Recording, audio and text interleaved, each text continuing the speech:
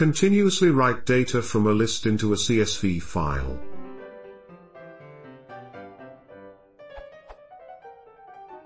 I'm trying to get my Python script to keep writing to a CSV file and I'm quite the beginner when it comes to Python. I've tried to follow this person which has a similar problem but without success, writing list of strings to Excel CSV file in Python.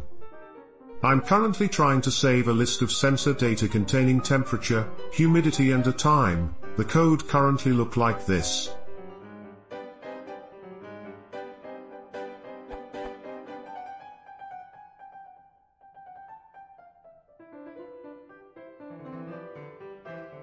The error I'm getting is this, iterable expected, not int so the first data values is stored in a int I assume.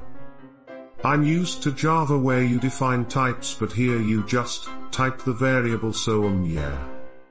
I've tried writer.writeRow sensor data and it works then, but as you might already expect, it just writes a single row of data.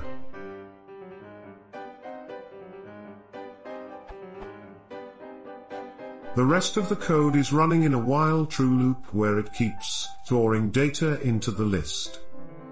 How do I get this function to keep writing to my CSV file, adding more and more as my loop keeps running? The getSensorData function